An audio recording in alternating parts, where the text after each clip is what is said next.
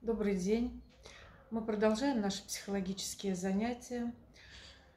Рады приветствовать вас. Надеемся, что вы в добром здравии, что вы выполняете масочный режим, режим самоизоляции.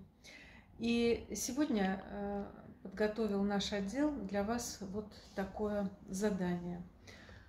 Мы попытаемся поискать ресурсы, которые помогают человеку ну, быть на плаву, чувствовать себя хорошо, чувствовать себя успешным, ну или, как говорят, камильфо, да.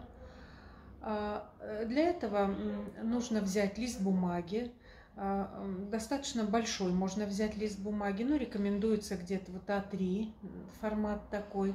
Ну, возьмите такой лист, который у вас есть. И возьмите карандаши, либо ручку, можно взять фломастеры, то есть эм, тут э, выбор за вами. То, что вот есть, есть под рукой. А, поскольку вы будете, можете посмотреть в записи эту, это, это задание, да, поэтому я время на поиске листа бумаги отводить э, вам сейчас не буду длительного времени. Но у кого это под рукой, вот можете взять и вместе со мной продолжать действовать. В центре такого листа нужно символ э, поместить, который будет обозначать вас. Выберите цвет, если вы будете делать это в цвете, который вот вам нравится, который вам приятен. Ну вот сегодня у меня такое настроение, что вот я себя сделаю такой оранжевенькой и помещу себя в центр. И вот такую помещу себя улыбающуюся. Так вот я сегодня себя ощущаю. Может, даже кокетливые реснички нарисую, нос обозначу. Ну, в общем, такая вот, такая вот тетечка, да? Вот. А теперь вокруг этого символа, который обозначает вас, нужно поместить э, все то, что дает вам силы, что вас подпитывает, что ну, как бы держит вот вас в жизни, можно сказать так, на плаву, да. А, это могут быть ваши родные, друзья, книги, природа. А, можно даже разделить там походы в лес, походы в парке или жизнь на даче, да, а, вот,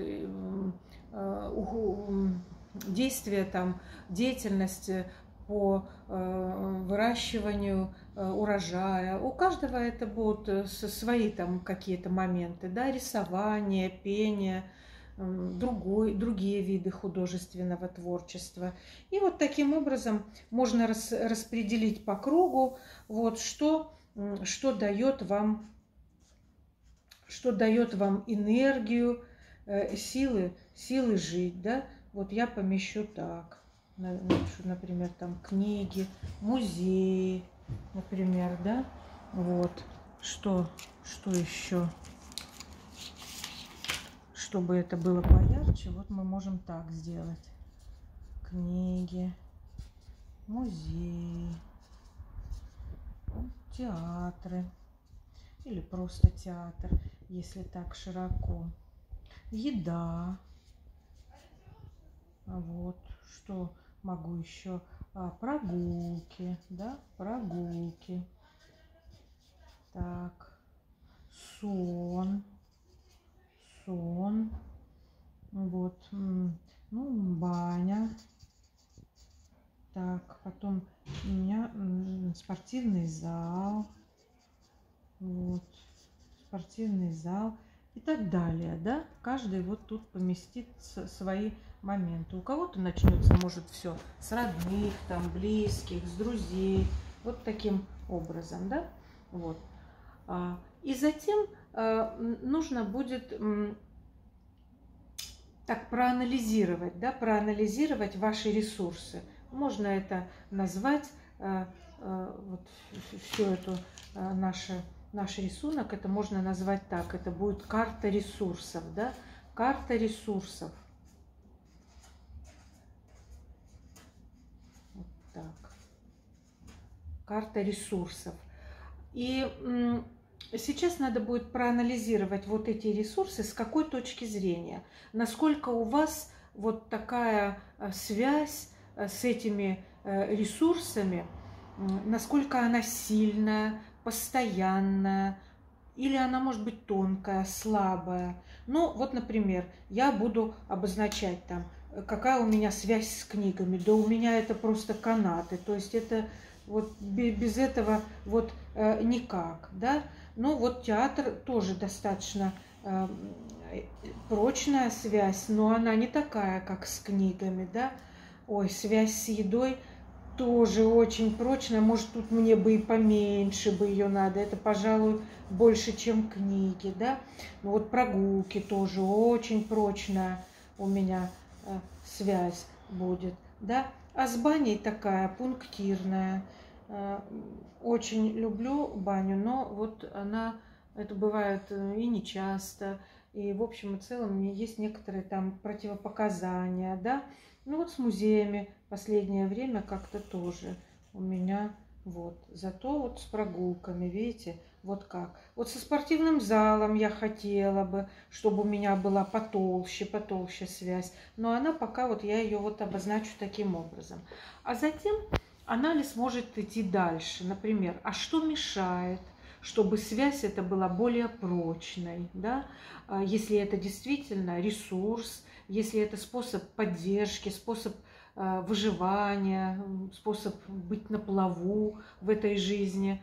А, что, что мешает? Вот на эти вопросы можно, ну вот там себе ответить, честно, конечно. Ну вот возьмем а, например, музей. Что мне тут мешает? Ну, аллергия в определенной степени там мешает, да, мне там помечу это дело. Вот, ну, что еще, может быть, не, не так часто я хочу э, ходить в музей. Ну, да, я испытываю дискомфорт из-за нехватки воздуха в музеях, из-за э, аллергии, если это не на открытом воздухе, да, вот, например, Э, вот таким образом. Ну, э, еще, может быть, да, может быть, мне хотелось бы там, например, вот ходить э, с кем-то в музей, чтобы сразу обсуждать, делиться впечатлениями. Вот. То есть вот тут, чтобы посещать музей, нужно что, что сделать? Мне, ну, может быть, да, действительно, борьба с аллергией, вот маску как раз-таки, да, себе иметь, маска, и кто? Найти партнера кто будет со мной, вот кто любит музей, будет со мной ходить в музей именно в те, в которые я там хочу и так далее. Вот идея понятна, да, как можно проанализировать, почему, как можно этот ресурс усилить, и, или почему этот ресурс не очень, э, не очень силен сейчас.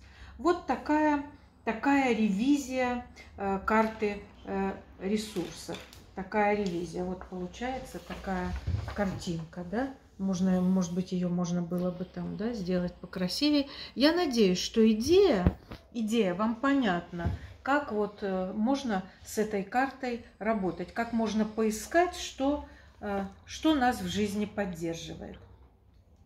А сейчас я э, хотела бы э, вот показать, вы знаете, что мы консультируем людей, да, э, к нам приходят, делятся не только своими там, я не знаю, ну, трудными трудностями в жизни, но и делятся радостями. И вот есть такие клиенты, которые приходят поделиться радостью и как раз-таки приходят рассказать о своих ресурсах.